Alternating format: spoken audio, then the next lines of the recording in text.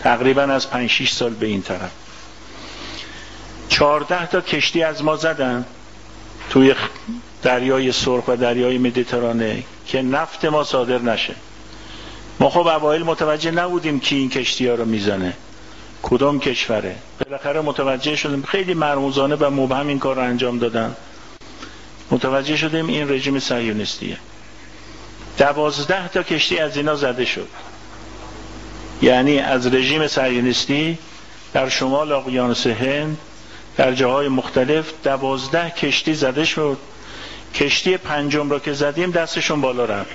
گفتن ما نبرد کشتی ها رو متوقف می‌کنیم. اومدن نفتکش ما رو در جبل الطارق گرفتن انگلیسی ها ما کشتی استینا امپرو رو از اونا گرفتیم مبادله کردیم تسلیم شدن. دو تا کشتی از ما در یونان گرفتن دو تا کشتی ازشون گرفتیم در نهایت تسلیم شدن.